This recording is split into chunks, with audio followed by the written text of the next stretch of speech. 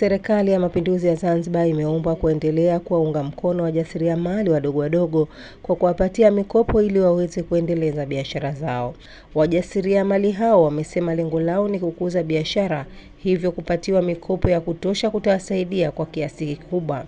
Tunajishughulisha kwenye masuala ya mazima ya kuprint t-shirt, logo design tofauti tofauti. Pia tuna tunatengeza website ya vipeperushi pia. Mafanikio tuliopata katika biashara yangu kwamba tulipotoka sipo tulipofika sasa hivi, kwa sababu mwanzo tulipokuwa ni miaka ya nyuma huko tulikuwa na bidhaa bidhaa uhaba bidhaa, lakini sasa hivi pia tunashukuru tupo na bidhaa nyingi tofauti tofauti kama mashine za kuprint jezi, kuna mashine za kuprint vikombe, sahani, design tofauti tofauti.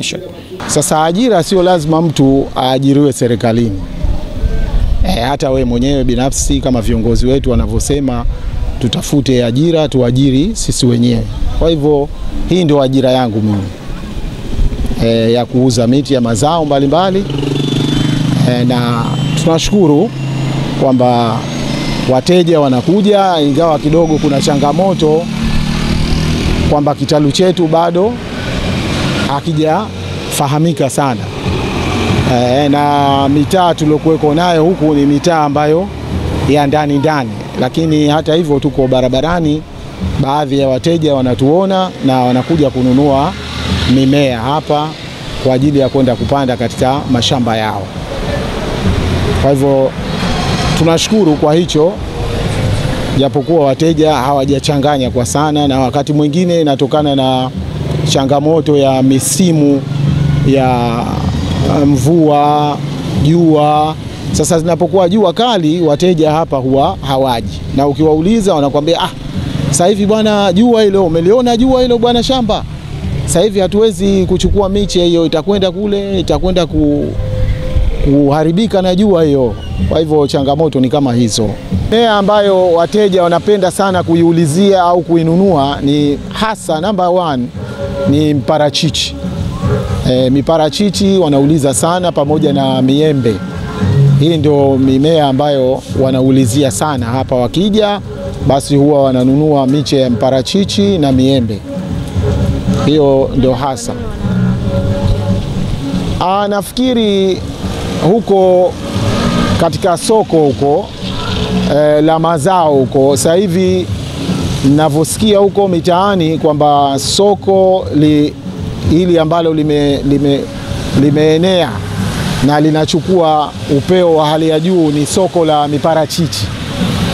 E, miparachichi ni soko ambalo watu wanalitumia katika masuala ya juisi, wengine wanatumia katika kuuza kama parachichi kama tunda na ni, ni zao la biashara na ambalo lina soko sana, ndio maana wanapenda sana na kuliulizia na kulinunua. Ametoa wito kwa wananchi kujiajiri wenyewe ili kuweza kujikimu kimaisha. Kwa vijana ni wasiweze kukaa nyumbani tu, waweze kujiajiri kama tunavyojishughulisha sisi. Wito wangu kwa serikali kwamba tuweze kusapotiwa sisi ambao vijana tunavyojiajiri wenyewe tu vile vile tuku, watupe mikopo midogo midogo ya kuweza kufanya biashara nyingine hizi.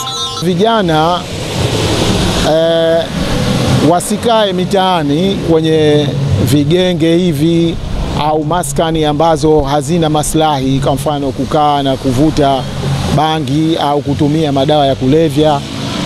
Wajiajiri wao wenyewe, wasingoje kuajiriwa serikalini, kwa sababu ajira zimekuwa chache serikalini. Kwa hivyo wajiajiri na watafute e, mipangilio ya biashara kama hizi na nyinginezo zipo.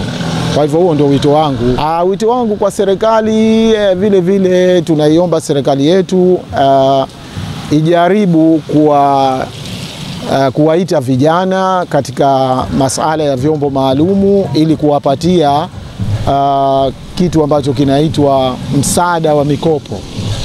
E, wawaite wa vijana katika wizara zao maalumu wawapatie msaada wa, wa mikopo ili ile mikopo wale vijana wapewe na uh, uelewa fulani katika hiyo mikopo na waunde biashara kama hizi, ufugaji, kilimo kama hichi na mambo mengineyo.